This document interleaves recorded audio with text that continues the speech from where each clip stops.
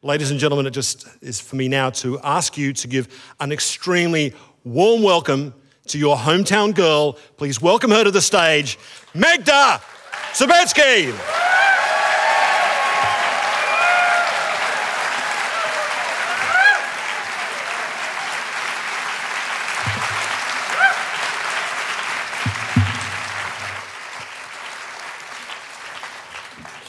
Congratulations on the book, Mags. This is an absolutely gorgeous book. It's a fantastically well written book as well.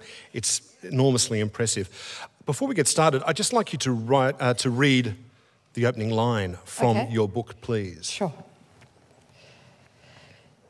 If you had met my father, you would never, not for an instant, have thought he was an assassin.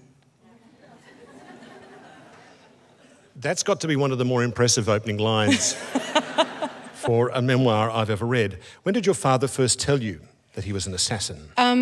Look, I would have probably been in my late teens. It's one of those things I can't exactly remember because, you know, it's sort of part of the furniture, although it sounds bizarre to say hearing that your father's an assassin was an unremarkable event.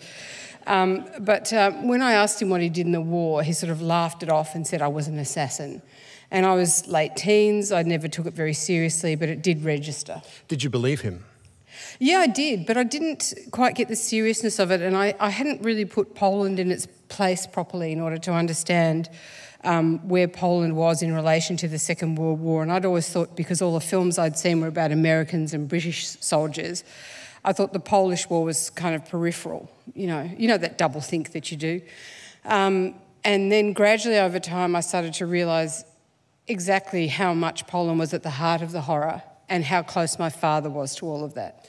How was it that your Polish father got to meet your Scottish mother after the war? Um, well, after the Warsaw Uprising in 44, my father escaped through a sewer. The, the uprising was a complete failure. The Russians were meant to come and support the Poles and had urged them to rise up. And the Russians stood on the banks of the Vistula River and watched the Poles be annihilated.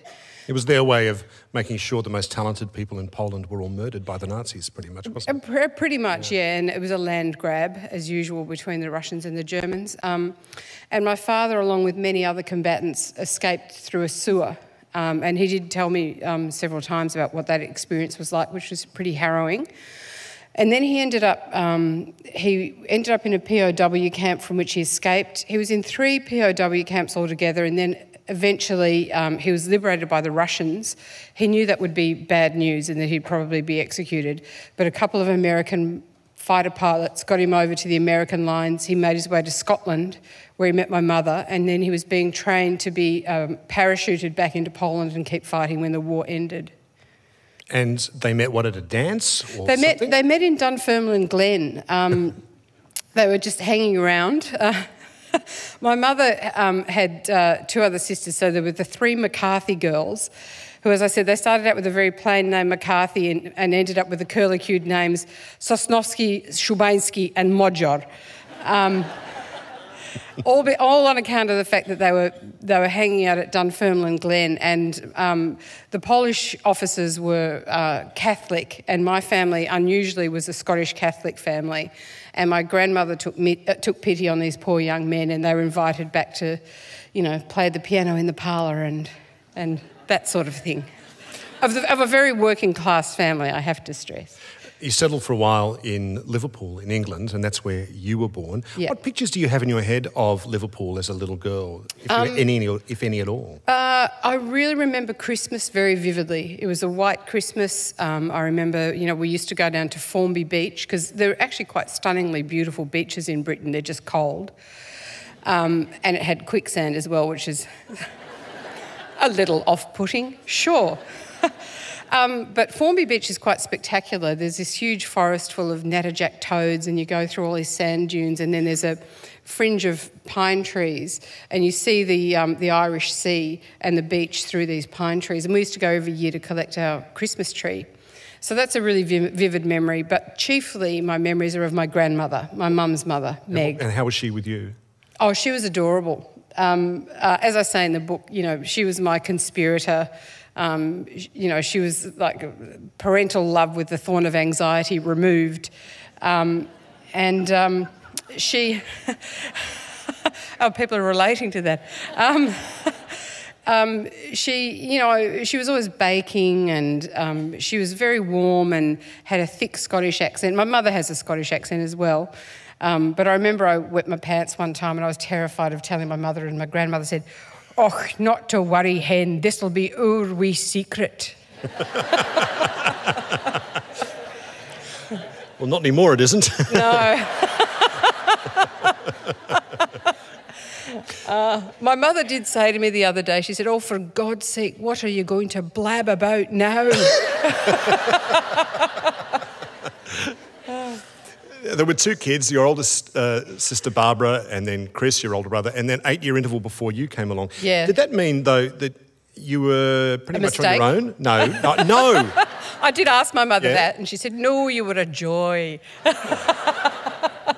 But she would say that, wouldn't she? Um, She would. Um, yeah, I was very isolated, and and uh, as I say in the book, fantasy became my friend, and um, I very much lived in my imagination. I was also lonely. I used to crave having a sibling about the own, the same age as me, but it meant that I really did retreat into my imagination quite a lot. What kind of little rituals did you develop? Well, I was a funny kid. I was, and I'm still the same. Um, really sort of bold and gregarious in some ways, and then riddled with anxiety in other ways. And I still do it. Um, I have this funny habit of, as someone is speaking, I will count out on my fingers how many syllables until it gets to a, a multiple of four. So I'm at three there, so I need to say something else so I can get to four, or I can't stop. Things like that. I know. I don't know wh- why. Well, I do. It's an anxiety relieving technique, but I did all sorts of little quirky things like that. I, I now re- feel really self conscious about what I'm saying to you I know. now. and I'm sitting here counting how many syllables in every sentence. Looking at me going, one more, one more, one more syllable. Uh, and you're still a bit like that today? Yeah, I still have, you know, um, people sort of want you to have cured the anxiety and depression, and it's not sort of really the way it works. Um, you manage it, and, um, and I'm not someone who's plagued with it terribly in the way that some people are, but I've certainly flirted with it, um, and uh, if that's the way to put it. Um, and um, you know, I still I still have my odd, quirky, slightly OCD little habits for sure. I do this myself. I, I name all the US presidents of the 20th century in my head as a way of, I don't know, a little hidey hole or something in my mind. That's a very nerdy I hidey know, hole. Who's in there with you? Oh, no look- one. People like George W. Bush, and it's not good. what brought the family to Australia? Um, look, the reason that we were always given was the weather. Um, my father, although he came from, I know it seems a flimsy pretext to f- fly 10,000 miles, doesn't it? Um, my father hated the cold in Britain. It's a very dank cold. And although Poland gets cold, it's a dry cold. And, um, but really, he had this opportunity. He worked as a textile technologist, which is kind of like a textile chemist for a subsidiary of ICI. So we were flown out. So we weren't typical migrants. We didn't come on a boat. We didn't stay in one of the notorious youth hostels. Um, we had a house, you know. Um, So it was nylon that brought you out. it was nylon, yeah. Knickers and, pa- and pantyhose. Um, yeah, my father worked in, um, you know, rayon, nylon, all that sort of thing. In fact, he specialised in flammability. and you'll be surprised to know that nylon isn't one of the worst, but that's a whole other thing. Why was getting off the plane at Essendon Airport such a hellish experience for you, Mags? Well, because um, as I've just described, one of the main memories I have is White Christmas in Britain, and it had been a White Christmas, and we arrived on the 23rd of December 1965. The plane, the door of the plane opened at Essendon Airport, and it was 105 degrees in the shade, and the, the tarmac was melting, and then we had to drive. It would have been over 40, maybe 50 kilometres from there to Bayswater. Well, you couldn't, couldn't even touch the car door couldn't handle. touch the car door handles. We, yeah, we, we had a very rude uh, introduction to it. Was it was really like we'd just been plunged into hell, to be perfectly honest. So like it's everything's baking hot. You can't touch the door handles of the car. You Yeah. can't walk on the ground. Yeah. It's just what it's like all the time in Melbourne. Yeah, that was what that was the that was the picture that we formed. Uh, The first night you had in your house in Bayswater, you- you're right. You were the family was troubled by a strange sound. Yes, there was this strange, eerie, high pitched sound.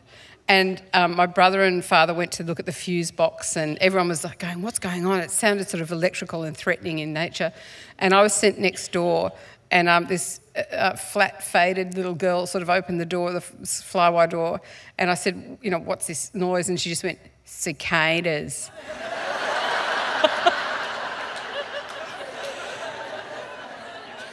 we were effing clueless.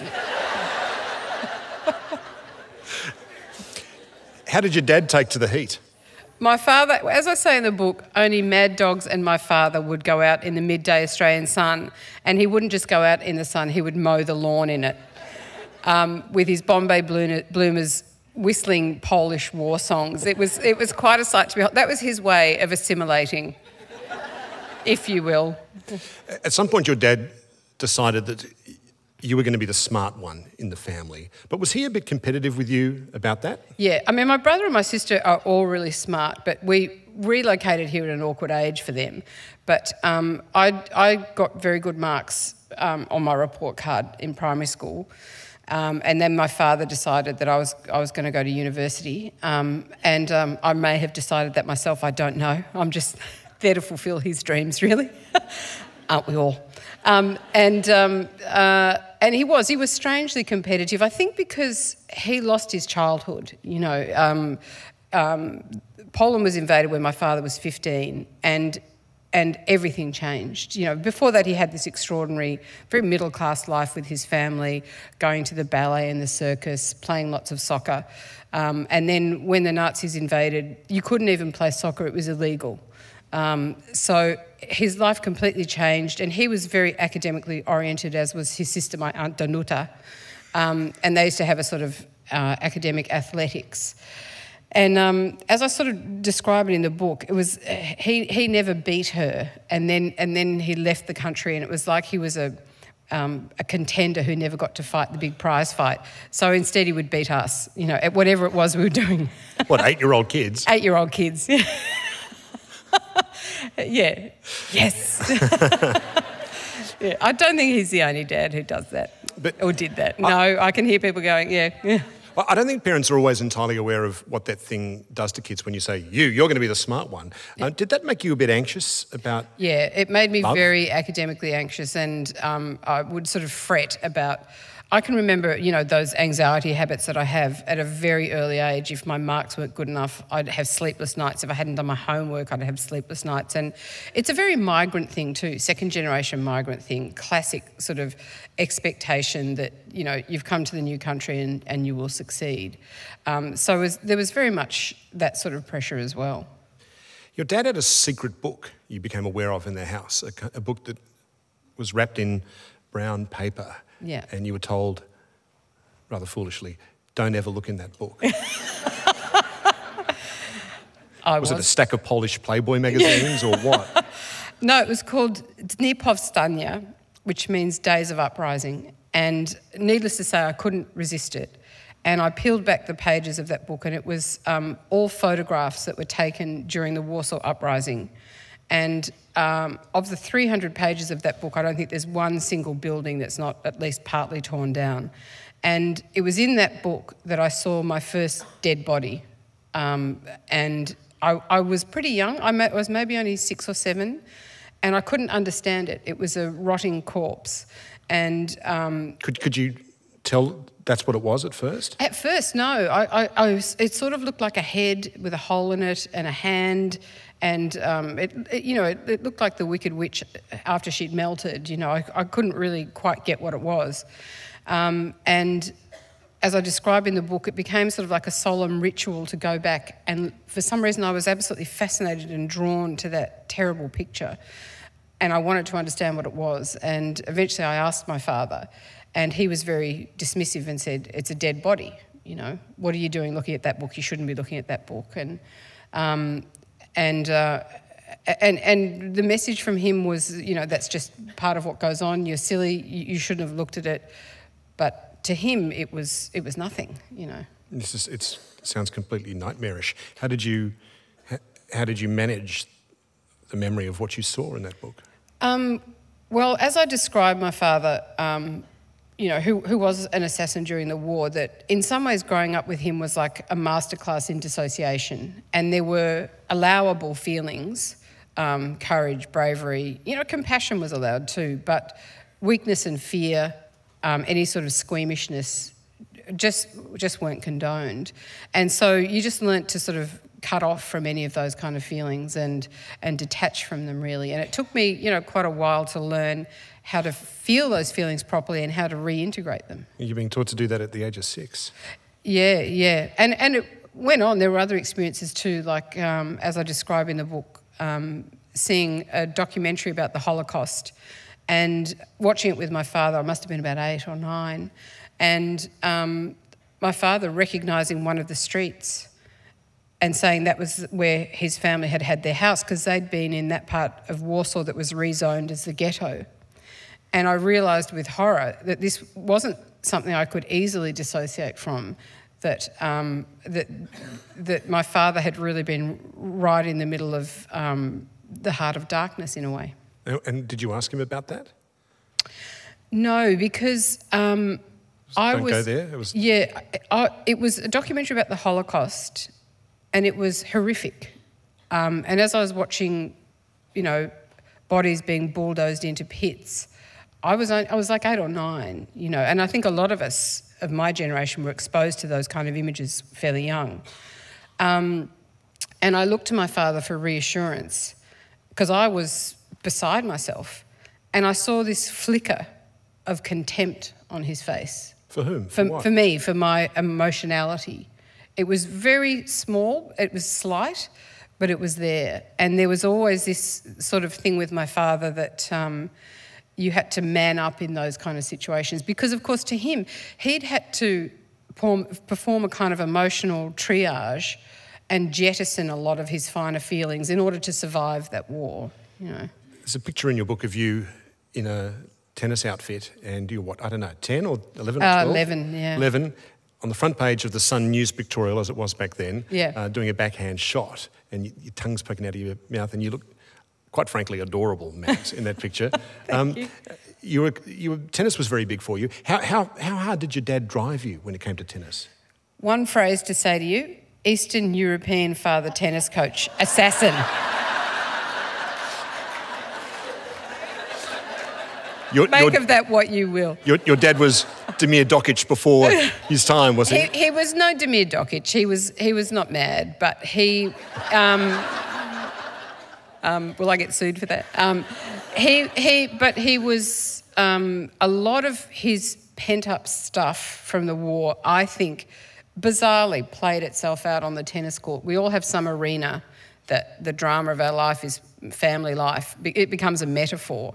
And it's not surprising that someone who'd done what he'd done, was an assassin, ended up in a sport where it's all about killer instinct. Is that what he said to you? Yeah, he told me when I was nine I had no killer instinct. And, um, and I was wiped in the, in the way that only my father could wipe you. My God, when you were wiped, you were wiped. Was there anyone standing around you to, to go, my God, man, you just called a nine year old girl, uh, accused her of not having a killer instinct? Is that. Um, Yeah. Um, odd? my mum tried to sort of stop my father. He was, he was, he thought he was doing the right thing. You know, I mean, he, his mission in some ways was to toughen us up and um, prepare us for life in the way that he understood it. Although he knew we were in Australia and it was a peaceful land comparatively, um, Aboriginal experience notwithstanding, but compared to the sort of, you know, what he'd just come from in Europe, um, it was a tranquil time that we were living in. And, um, but he, in some way, uh, I think, was really preparing us to be tough. What did he tell you when you started to put on a little bit of weight that time? He told me to starve myself because he, um, he his mother was a, an overweight woman. My father was a fat little kid, um, and when he he started to lose a bit of weight, and then during the war, of course, they were under starvation rations. And then when he was in the POW camp, he lost all the weight, and he emerged from the POW camp looking very handsome.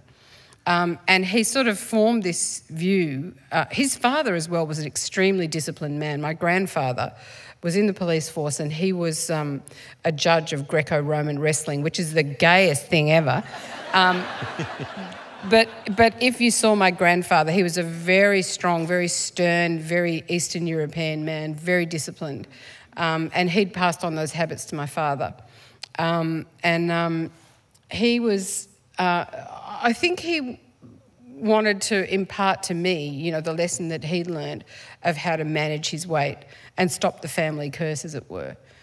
You and I grew up in a similar part of Melbourne, the outer, outer, outer eastern suburbs. Yeah. And part of afternoons was watching I Dream of Jeannie, Bewitched, Gilligan's Island, Oh, and the Brady Bunch. going. Yeah. I, I had a crush on Marcia Brady. When, Yeah, me when did too. you? Yeah. when did you realise? I didn't know if I wanted to be her or kiss her. I was very confused. Um, sorry, what was your question? yeah. When did you know? That's when did I yeah. know? I, I, I think the, the moment I laid eyes on Marcia, um, although it was a very confusing time for me because, as I say, I also did have a bit of a crush on Keith Partridge, but then he was kind of girly. Um, but yeah, no, that was that was part of my. Um, it, it it was just so damn normal, you know. And I had this. I mean, I grew up to pronounce my name properly the way my father would say it is Magda Szubański. Um, and I, of course, grew up with everyone saying Magna Zabansky. Um, my father, when I was six years old, got a very life threatening cancer. He had a huge tumour in his leg, and um, it was very likely that he would die. He survived it and went on for another 40 years. Um, but there are a lot of, you know, we'd migrated here, we'd left behind all our family. There were a lot of desta- destabilising things, a lot of things that were rocking my boat. And, um, you know, Marcia, she was just solid ground, mate. she was something I could rely on Tell, tell me how you and until your they cancelled the series. until But- they cancelled the series. Tell me how you and your friend Kerry uh, used to practice, get yourself in training for kissing boys Oh, when yeah. that day should come. Yeah, yeah. Well, that was that's how every first gay kiss happens is practicing for boys, um, um, and she was in fact practicing for boys. I I, I wasn't. Um, as I discovered, much to my horror. But um, um, the soundtrack for our pashing sessions was I was obsessed with David Bowie and the song Sorrow. Um, and um, it was an appropriate, appropriately sad soundtrack because it didn't go well. Hashing a girl to sorrow in the Yeah, I background. know. Something tells me you're the devil's daughter, is the line from that, isn't it? I mean, but seriously though, how did you, how did you, what did you think about all that as all that was going? That must have been incredibly confusing. Um, I was terrified because I, I knew instinctively, and I knew even younger than that, um, that I was attracted to girls as well as boys, but mostly girls. Um, and I knew instinctively that it wasn't normal, and as I say in the book, that I posed a social identity threat to myself. Um, and um, it was terrifying. Because leso was a real term of abuse. Yeah, it really was. And it is, it, you know, as we were talking earlier in the green room, it's hard to remember now just how terrible it was and how, um, y- you know, really, it was kind of like you, you were cursed to be called a leso. Lesbians were a real, a real object of hate. Yeah, and revulsion and disgust. Did you hate lesbians too? Yeah, I did. Yeah, and that was, you know, that was, um, uh, that's what's called internalized homophobia. You know, that you introject the message from society and and you, you know, you believe it yourself. So you were a bright convent school girl with a beautiful poetic imagination. How on earth did you become a sharpie chick? Well, um, uh, one of the girls at the tennis club started dating a boy who was in a Sharpie gang, and some people here will remember the Sharpies. Um, sort of shaved on top. Yeah, one at the it was. back. Yeah, the Conti cardigan, Yeah. um, platform shoes, um, a very strange way of dancing. Yeah, it's all that. yeah, the, uh, that character I used to do, Michelle Grogan. Yeah, yeah, and you, you, your fist would piston up and down in front like you were trying to punch yourself in the jaw. It was a- that yeah, as well. Yeah, it's very weird. The my- nuns my used wife to will- stop us doing it. My wife will do that as well. There's a certain age of Melbourne, a certain generation of Melbourne women from a certain part of Melbourne. If you play Stevie Wright at a party, they'll Oh, leap yeah. up and start Yeah. Connie dancing. Yeah. they? And you are one of those women, aren't you? Yeah, and it percolated right up into the middle classes as well, believe it or not. What but sort of- but I sort of- drifted into the, I sort of drifted on, into the periphery. By that time, I, I really had kind of, um, partly triggered by my realization about my sexuality, had plunged into a depression, the first sort of real depression I'd ever had, and it was, uh, that in itself was terrifying. Um, and you know i just was rudderless and, and my marks at school just fell through the floor um, i couldn't study i couldn't concentrate I didn't know what was going on. No one spoke about that sort of stuff back then. Uh, and, uh, you know, as I say, I was rudderless and I just sort of drifted into this gang, the Croydie Boys Sharpie gang. On the periphery, I was, I hasten to add, I was sort of like the ladies' auxiliary, you know. I wasn't, I wasn't a fully fledged member at all. You know. I was the blue stocking Sharpie. You know. Did you ever get into a scrag? A scrag fight? Um, no, I nearly did on the train once. I got picked, as we used to say. Can I swear Yeah. on this? Um, I was sitting there in my prim convent girl uniform because I was a convent schoolgirl during the week and a sharpie on the weekends. Um, and uh, this genuine bona fide sharpie girl picked me. And the way I knew I was picked is she came up to me and she said, What are you fucking staring at? And luckily for me, the train lurched and she was standing on four inch platform shoes. And have you seen those YouTube clips of supermodels on their platform shoes falling over? She did that all the way back along the, the aisle of the, of the train. And it saved my life.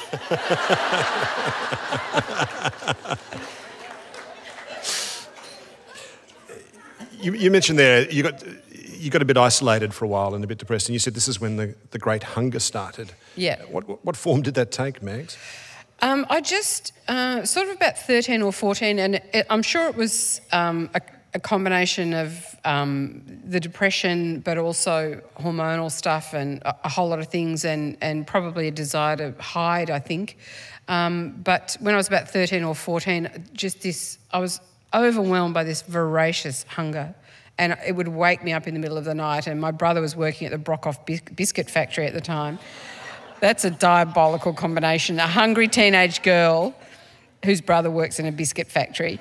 Um, and I used to sneak out every night to watch movies in the middle of the night and, um, uh, and, and eat chocolate biscuits. And my weight, as they charmingly say, began to balloon. And it, it, was, um, it was so frightening as well. I felt like there were so many things that I was completely out of control of in my life, and that was one of them. And, and no one knew what to do about it. Still, people really don't understand the mechanisms of why people put on weight. It's, you know, I have seriously looked into this, believe me. Um, and um, um, the biology, the physiology, the mechanics, the emotional, all of those factors are enormously complex. And, and so all of that was going on for me, and I had no understanding of what was going on, and it was quite frightening. At the end of high school, you got a role in a school production of Salad Days. I did. What do you remember of the feeling of going on stage after all the rehearsals and it's opening night and your parents are in the crowd and people you know are in the crowd and you've got to go on stage and perform? What do you remember of that feeling? Um, it was just this incredible sense of serenity and this certainty that this is where I belong, of homecoming in a sense. Um, and all the diffuse, uh, confused parts of me congealed into a whole, and I, I, I made sense to myself, and I no longer felt like an outsider. What did your mum and dad say after that show? Uh, my father, well, first of all, I looked, I was playing a sort of 1930s dowager, and I looked very like his mother, um, which must have been really freaky because he never saw his mother again from the age of 20. So it was, would have been very emotional for him as well because once he was carted off to the POW camp, he could never return to Poland because uh, resistance fighters were not made welcome by the communists. So it was very emotional for him to see me there looking, and he went, Ay, ay, ay, she looks just like my mother. And then the other thing he said, because my father really didn't praise us a lot, but he said, She's got it. That was all he said. Um, and you knew when my father said something like that that he meant it. So it, it was really profound for me. And then my mother, who, my mother is actually the funny one in the family, um, and uh, she's hilarious to this day. And um, she said, Oh, Hen, you were very funny. And that coming from her really meant something. So the two of them, they both, they knew that something had kind of happened in that moment. You got into uni in an arts degree, and you write you spent your first term of uni sitting in the student union eating Smarties. Yes. What?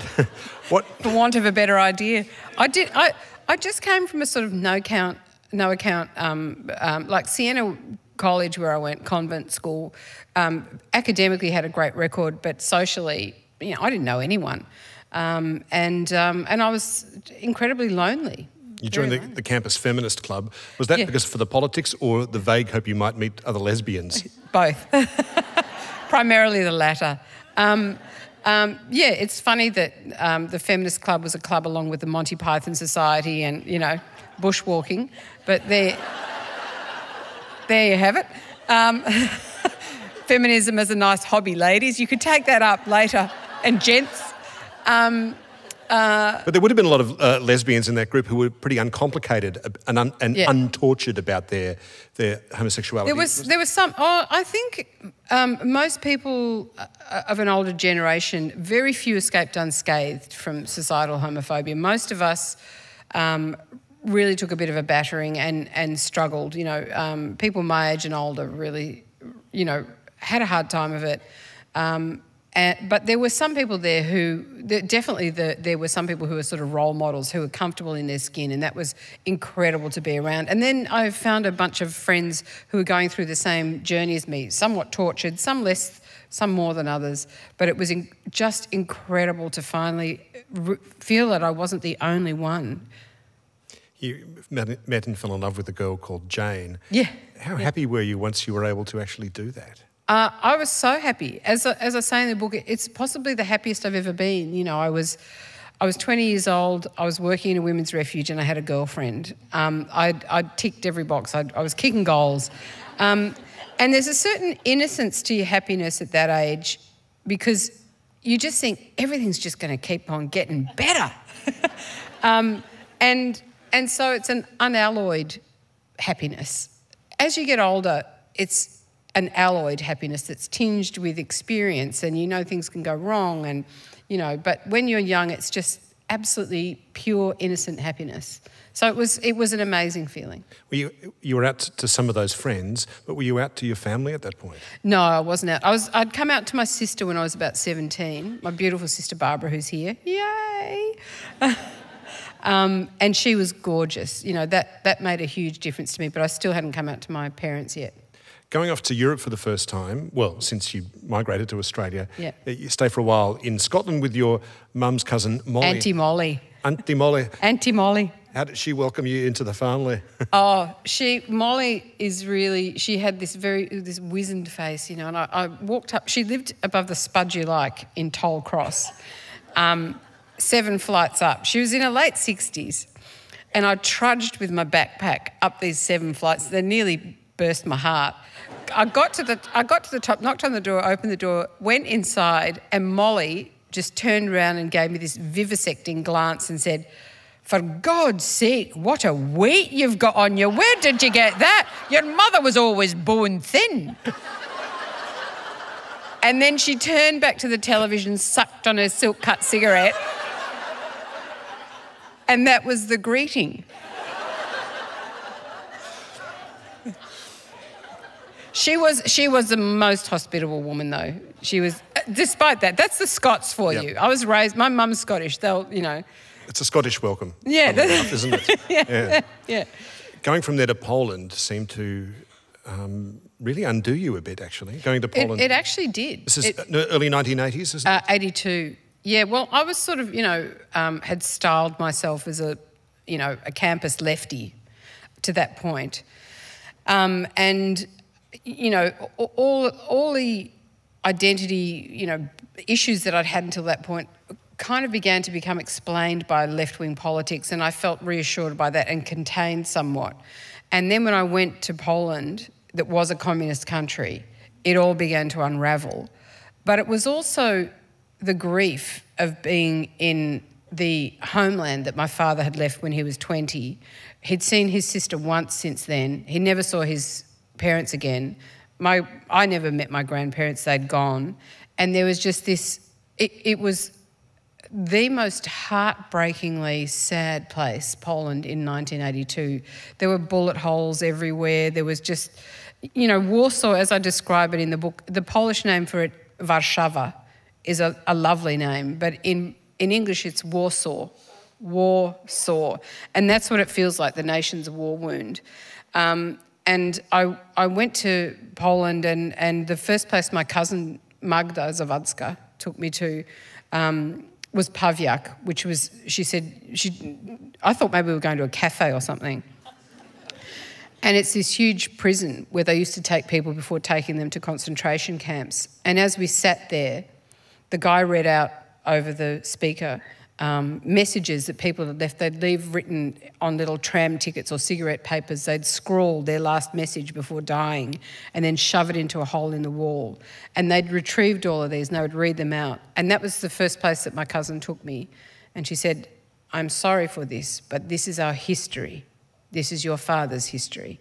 So I was plunged headfirst um, in, into that history, into that loss, into that gaping wound and hole that existed where my family should have been.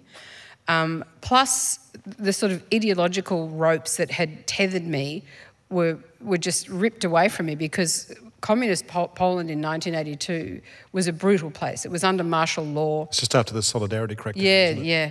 Um, and um, and so I felt like I had nothing to tether me. I was also breaking up with my girlfriend, you know.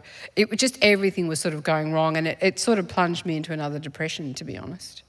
But back in Australia, you joined Melbourne University Revue and you did a production called Too Cool for Sandals. And I know this because this is when we first met. It is when we first met, when we were touring in Adelaide mm-hmm. and we met the Doug Anthony All Stars at um, a nightclub. Yeah, that's yeah. right. Yeah. You, very kindly, your group were selling out the place in Adelaide. We were getting four people. You gave us a little cameo and we did a bit better after that, which was kind. but, but you know, I, I, I, do remember you very, you and Michael Veitch as part of that revue. And I do remember you very vividly because, after, and afterwards, you were, I don't, you probably don't realise, but there was a certain amount of cachet amongst the Tim and Debbie's in the crowd uh, about you. They're going, well, I quite liked Magda Szubanski, actually. I thought she was excellent on stage. She was really funny. People going, Magda, yeah, Magda. Yeah, I thought Magda was quite good. Yeah, I thought she was good. That's, there was a kind of cool vibe around you. Were you, were you aware really? of that at the time? I've never been cool in my life. I wished I'd known. Oh, I could have got a root. oh always missing the boat, you know? Honestly, if you couldn't have hooked up with another lesbian in that venue at that time, you mustn't have been trying hard at all. No. Uh, but I do remember that. And from that, you got invited to be part of the D-Generation and a whole lot of other shows coming from that, and Fast Forward as well. And um, you created characters like Lynn Postlethwaite.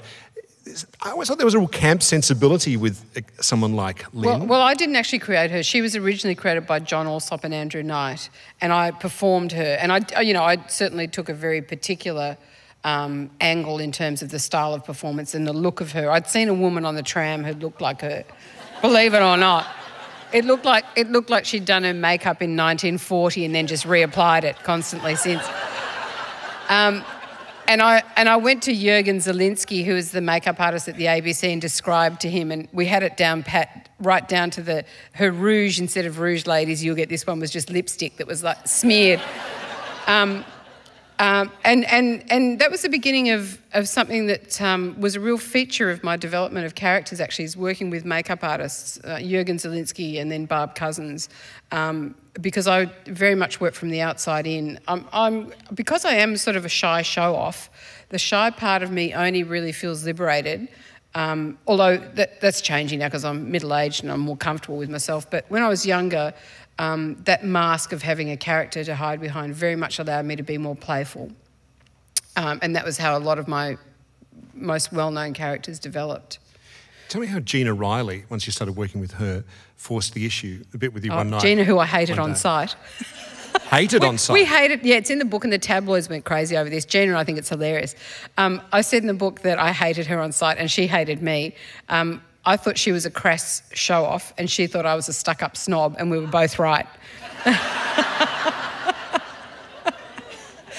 and we also, we also both pride ourselves on being very bad judges of character. I'm a terrible judge of character. I know you're not supposed to say that, but I am. But, um, but Gina was one of the first people outside of my little uni group who um, she just flat out asked me if I was a lesbian. Um, and, um, and I was sort of flabbergasted and then relieved, really. But Gina just had that disarming way about her because um, the reason it was okay was because it was so patently clear that she didn't care. And, and I just felt very comfortable around her because of that.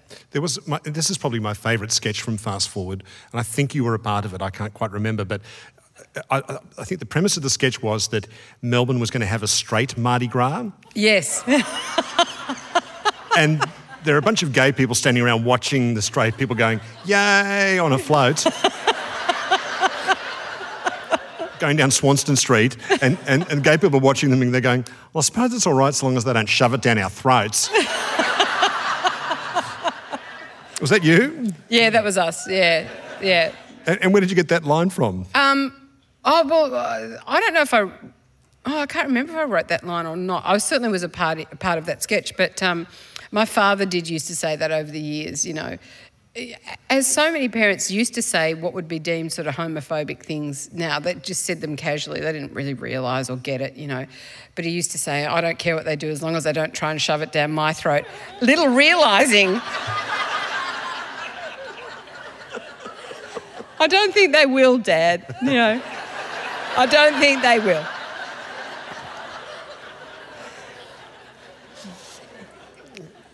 You got to live in an apartment in South Yarra, and there's a story there about how you were woken up at 6 a.m. one morning. Just tell me what happened that morning, Mags. Oh, that was an extraordinary morning. Um, I was sleeping with the window open, and um, I just heard this bang, and it was a noise like nothing I'd ever heard before. And then there was a woman screaming like no other scream I'd ever heard before. And it turned out that what had happened was some there was a racing car driver and his wife who lived diagonally opposite, and someone had put a bomb at the foot of their bed, and this bomb had gone off, and it was you know right opposite where I was living, and um, I just immediately rang the fire brigade and then ran out. Um, because all I was thinking is, you know, um, cups of tea, blankets, buckets of water, just any, you know, there's other people in other flats that might need some sort of help. They might want to come back to my flat for a cup of tea or, you know, just do something. And, um, and no one else ran out. There was about five of us. It was in South Yarra and um, it was eerily quiet. And then, oh, you know, it's hard to discuss this actually, to be honest, but there was this wall of flame and the man came out, he'd had his feet blown off and he came through the flame with his hands to his head, completely on fire. Um, and he stood there for about two minutes talking to us, and we were just yelling at him, just throw yourself over the balcony. Um, and he was too far gone, and he just asked after his wife and wanted to know that she was all right. And then after some time, he slumped and fell behind the balcony and died. Um, and it was just all silent you know, I'd never seen someone die before, except in a movie. But of course, there was no soundtrack, and it was it was it was the worst thing I've ever seen, bar none. Um, and um, and then later that day, you know, I had to go to work to film D-Generation, filming comedy sketches, and it was the most bizarre juxtaposition. And and really, I don't think anyone quite understood, and I don't think I quite understood what I'd seen and, and how I was traumatized. I, I, I knew I felt very weird and, and um, upset about it. And, and, what happened when you rang your dad and told him about what you'd seen? Well, there was no one I could really tell who'd seen anything like that. Um, there was no one, I, I felt suddenly like I wasn't in quiet, safe Melbourne anymore. And I didn't know who to talk to who'd seen anything like that except my father. And I rang my father and he said, Oh, I'm so sorry to hear that. And he said, Well, you just have to put it behind you. During the war, I saw the Jews throw their children into the flames and jump in after them. You just have to put it behind you. And that was his lesson in how you dealt with those kinds of situations.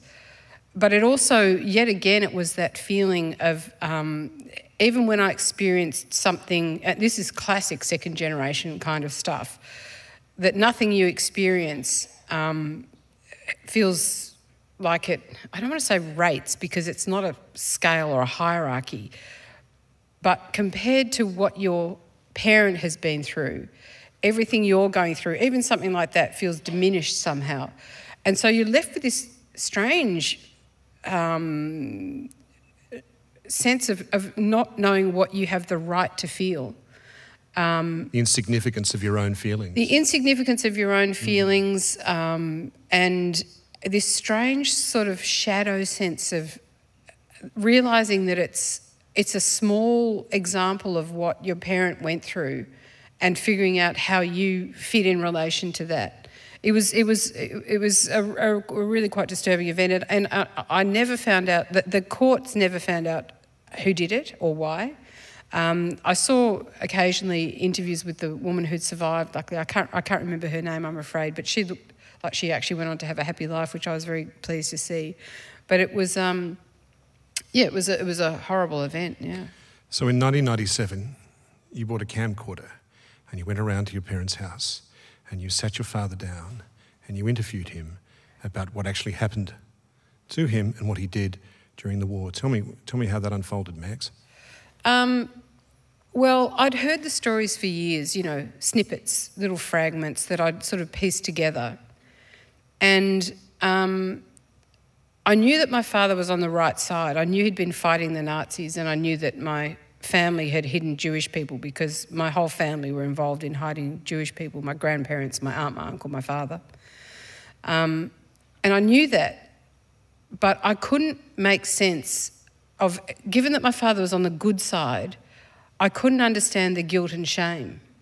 There was this, it was, it was palpable uh, and I felt like I was carrying that guilt and shame, as so often happens for the next generation. And, um, and I tried to make sense of it. And I started to worry if my father had, in fact, been a collaborator, because that was the only kind of explanation out there in the suburbs in Melbourne, 10,000 miles away from where it had all happened, with just snippets to go on. I put two and two together and came up with five. And, and, and I was terrified that perhaps my father had in some way collaborated. And, I, and much as it was absolutely terrifying for me to sit down with that camera and film him, I had to know what he had done. And so I, I, I asked him permission, uh, and I told him that at some point I might want to tell his story. And before we began filming, he said, I will speak of this once and then never again. And then he spoke for the next six hours about his life in Poland during the war. What did he remember of when the war came? Because World War II starts pretty much when Hitler invades Poland. What does yeah. he remember of that invasion? Um, the first thing was that the first Germans that entered Warsaw, one of them slapped his face. Um, there were two guys in, they were travelling on a motorbike and they asked directions from my father, and my father said, Ich weiß nicht, and the German slapped his face. Um, and then the bombing started and the, the planes and um, um, a bomb landed near my father and my grandfather were out just in the hall, uh, in the front door of the apartment block, and um, a limb was flown, flung through the air and landed near my father. Um, and he used to speak, he, he, the way he would talk about the war was a strange combination of there would be the guilt and the shame thing, and then he would change gear, and it would be um, like a boy's own adventure.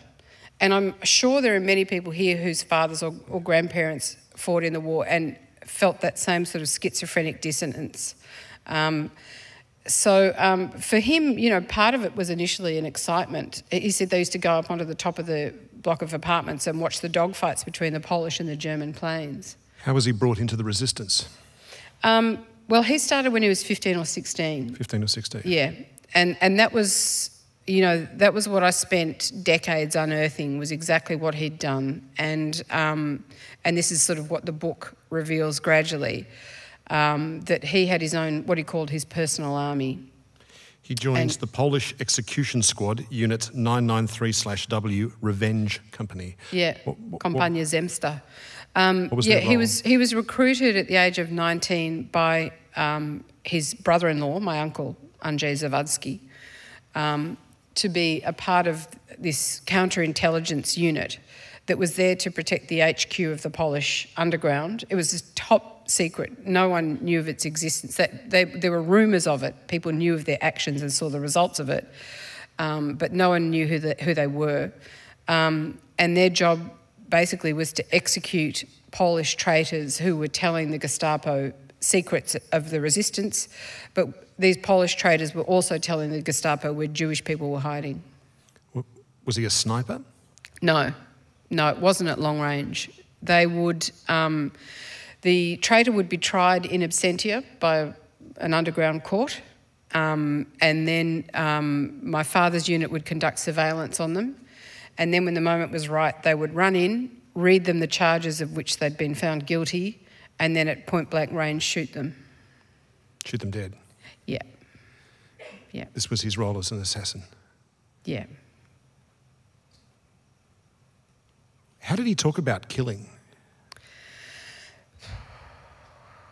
The business of actually pulling the trigger and Yeah, sorry, I'm feeling that. a little bit emotional at the moment. Um,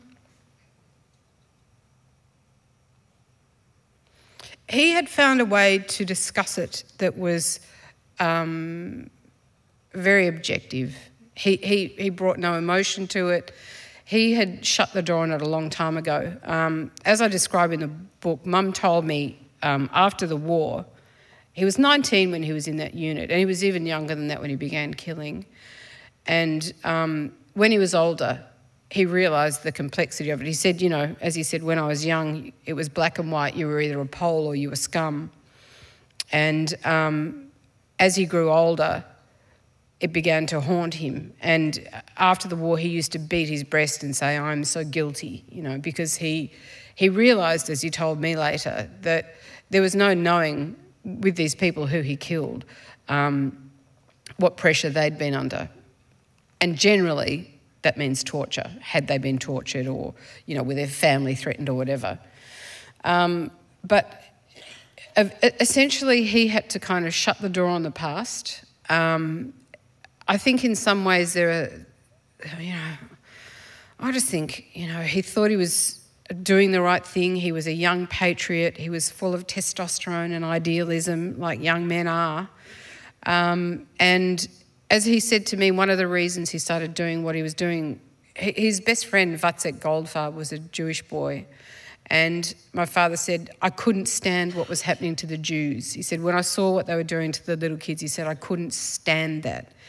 Um, so, you know, he came from the right place about it, but it came to torment him to some extent later on once he realised what he'd done, when he realised that he couldn't undo it, and when he realised how utterly grey and morally ambiguous the world really is. And did you feel proud of him or ashamed or both? Or, Um, or was it just too big, Mags? Yeah, I don't feel ashamed, but I did. That's why the book's called Reckoning, because I, I really, and it has taken me this long, and I've hidden to some extent within the world of comedy, not going near these things, because to be honest, it took me years of therapy to unpack all of this. Um, but um, it really, I, I think I came to that realization that there are some things for which you just, you never find a neat answer. And you have to learn to live with the ambiguity of it. And you have to learn to live with the discomfort of um, not knowing what is it that I, I, I look, I, I feel very proud of my father in a lot of ways, but my heart breaks for him in other ways that, that he, um, He's just a boy. he was just a boy. And you look at so many people now who are, you know, doing the same sort of thing. Um, and I think, what would I have done in that situation? I You don't don't know. know. Don't know. Like you talk about a conversation you had with him over the phone. It went for several hours, went way into the night. Yeah. And he said the most remarkable thing. I'm just going to quote you here. He said, All my life I have been terrified that one of my kids would grow up to be a traitor. Did that make any sense at all to you at the time? No, it was about two months before he died. And we had these conversations, and they would just spiral deeper and deeper. And, and I found them incredibly destabilizing, but I, I wanted to be there for him. Um, and um, he made this remark, and it was so kind of wacky. I was like, what the fuck does that mean? Um, and it took me quite some time to really understand that um, he was training us, toughening us up, not to be warriors so much, but his concern was that there was, I call it the stone of madness because it was like he carried this tiny sliver of the insanity of war inside his head that he couldn't, after 40, 50 years of being away from, or more than that, you know, what, 60 years, still couldn't rid himself of. And that it was if one of his kids was a traitor, there was this slight belief in him that he would have to kill us. And that was what he was terrified of. Not he, he was terrified that we would be weak, and it was weak people who, for the sake of a bit of butter or bread, and maybe that's why he was weird about food too, but it was often, you know, because of those sort of things, people who would end up collaborating. Gave me very complex issues too when I real, you know, piecing all of this together and realizing, um, you know, my own inability to kind of govern myself about food and thinking, would I be one of those weak people? Would I be a traitor for a pound of butter? Terrifying to think, but that's a classic kind of second generation question. Mm, it's all complicated by the fact that the reason why you come to a place to Australia is so your kids never have to go through that crap. well, it? that was exactly yeah. it. That's why my father really didn't talk about it a lot, but there would be enough that you'd hear mm. that it would just kind of freak you out. And you, you, I just had to know. I had to get to the bottom of it. It always made you worry. You said that you never really might have had the unconditional love of your dad. You sort of knew you had it from your mum, but not your dad. But it, it, did become apparent when you finally came out to your family, to your mum and dad. Yeah, yeah. Um, I was n- nearly outed by this women's magazine, surprise, surprise. Um, in the 90s, this woman, she was a real toe cutter, this interviewer, and um, she was determined to get out of me, you know, the prize which was the confession that I was gay. Weeping over your pasta. Yeah, yeah. She kept pushing the wine glass towards me, trying to weaken me. Um, little did she know I had been trained by an assassin.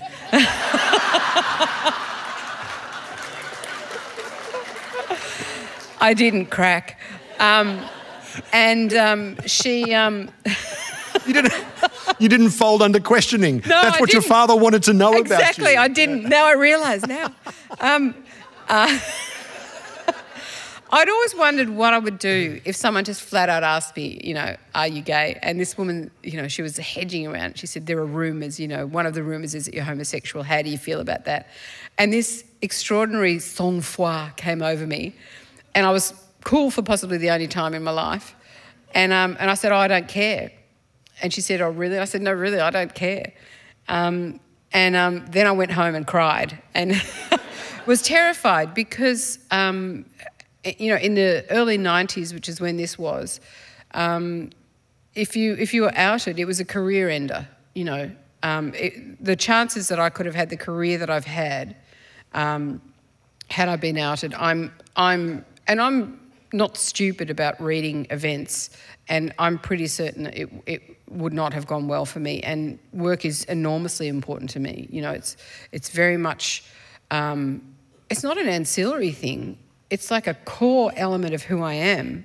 So for me to be in a situation where I couldn't do my work would have been crippling for me. Um, so it was a very difficult conundrum to have, a very difficult dilemma. Um, but then I went home because I thought, oh shit, I'm going to be out. I better tell my mum and dad. Um, so I went home. I got my brother. Barb was away at the time, and I, I, told my brother, and he was gorgeous. You know, he said, "I'll be there for you, and you know, if they attack you, I'll defend you." And you know, not physically attack. You know, what the Polish um, assassin? Yeah, yes. yeah, exactly. Yeah, and um, um, and they were gorgeous. They were gorgeous, and then we all sort of cried and hugged, and um, and afterwards, uh, um, as I say in the book, my only you know, the, the great gift I have I had was that I realised then my parents' unconditional love, and my only regret was that I'd ever had to doubt it. Ladies and gentlemen, please thank Magda Szubanski.